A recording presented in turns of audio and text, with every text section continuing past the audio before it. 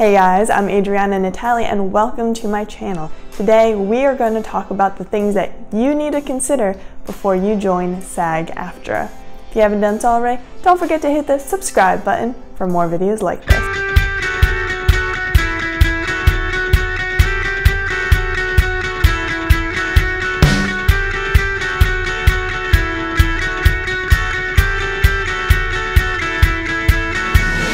So let's get started. You have your vouchers. You have your Taft-Hartley. Congratulations, you are now eligible to join the SAG after union. However, there are first a few things that you want to consider before you go ahead and sign. The first thing that you want to consider is your finances. SAG-AFTRA costs about $3,000 to join. Now, this is a one-time initiation fee, however, that is a good amount of money for most people. So some people choose to save that money ahead of time and wait to join until they have that full amount. Or you can get a loan. Now there is a SAG-AFTRA credit union that you can join and they give out loans especially for the initiation fee for SAG-AFTRA. Um, or you can do what I did which is like a combination of both. I had saved up some money and then got a smaller loan through the SAG-AFTRA credit union and pay that off as soon as possible. Now the reason why I did this is because I wanted to avoid paying you know, large amounts of interest on this loan. So if you're looking to save money, that's a great way to do it. The other big thing that you're going to want to consider, probably the most important thing that you want to consider before joining SAG-AFTRA is where your career is at right now and what your resume looks like right now.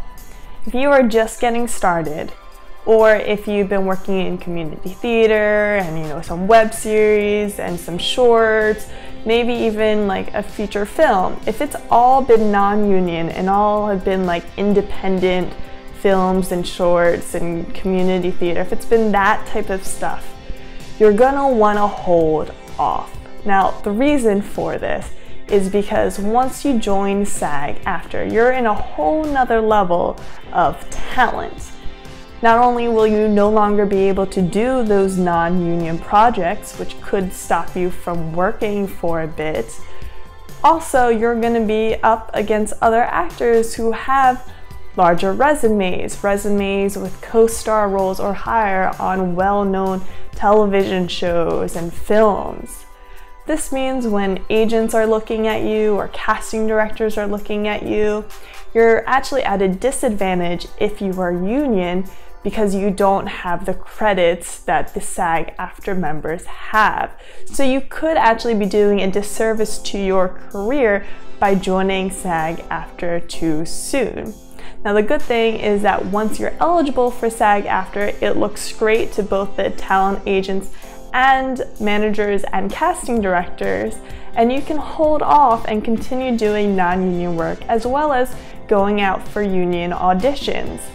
It's a good middle ground, and you can wait until you are what they call forced to join, which usually means when you get hired to do a second union project. But that's a great place to be and something I definitely recommend.